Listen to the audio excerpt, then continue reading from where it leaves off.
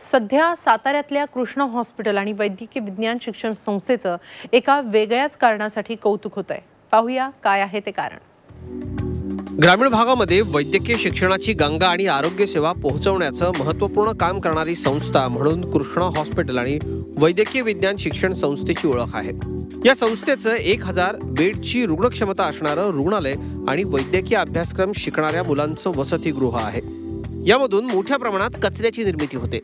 या कचऱ्यावर प्रक्रिया करणारा प्रकल्प हॉस्पिटलच्या आवारातच उभारण्यात आलाय. या प्रक्रिया प्रकल्पात हॉस्पिटल कॅन्टीन वसतिगृहातली मेस बगीचा इथला कचरा एकत्र केला जातो. ओला आणि सुका कचरा असं वर्गीकरण केलं जातं.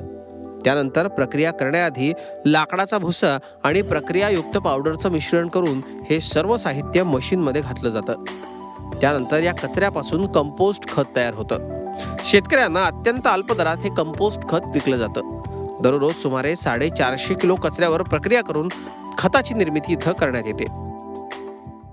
साधारणतः पन्नास ते साठ किलो आपण दररोज खत निर्मिती करतो. खत निर्मिती झाल्यानंतर ती आपण पॅक करून आपल्या हॉस्पिटलमधल्या जे काय गार्डन विभागासाठी वापरतो. आणि राहिलेला जो काय खत आहे ते आपण आजूबाजूच्या शेतकऱ्यांना अत्यंत कमी दरामध्ये आपण ते देतो.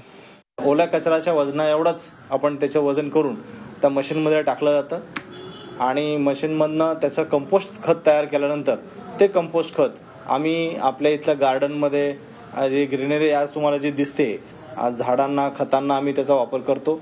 प्लस त्याचा आमच्या कर्मचारी किंवा शे विभागातील शेतकरी यांना अत्यंत कमी दरामध्ये ते उपलब्ध करायचं काम आम्ही करतो.